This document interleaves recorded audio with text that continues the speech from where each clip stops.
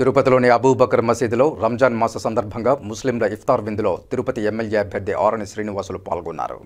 ఆదివారం సాయంత్రం తిరుపతి ఈఎస్ఐ ఆసుపత్రి సమీపంలోని అబూబకర్ మసీదు ఉర్దూ కళ్యాణ మండపంలో రంజాన్ పండుగ మాసం సందర్భంగా ఇఫ్తార్ విందు ఏర్పాటు చేశారు. ఉమ్మడి తిరుపతి ఎమ్మెల్యే అభ్యర్థి ఆరణి శ్రీనివాసులు ఈ కార్యక్రమానికి ముఖ్య అతిథిగా హాజరై ముస్లిం సోదరులతో కలిసి రంజాన్ మాసం సందర్భంగా ఇఫ్తార్ విందును స్వీకరించారు.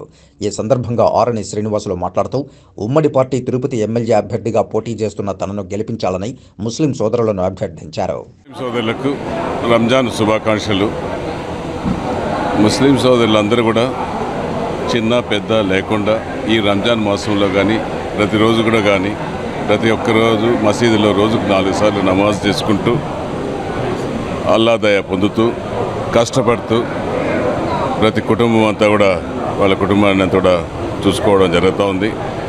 అటువంటి నేపథ్యంలో సంవత్సరానికి ఒక పండుగ ఇది రంజాన్ మాసం.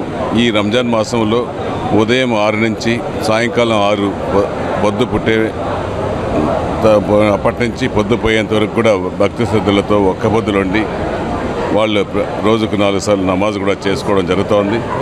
వారికి వారి కుటుంబ సభ్యులకు అందరికి కూడా అల్లా ఉండాలని ఈ రంజాన్ రోజు మాసంలో మరొక్కసారి ఈద్ ముబారక్ తెలియజేసుకుంటూ అందరూ సుఖ సంతోషాలతో ఉండాలని తెలియజేస్తున్నాం.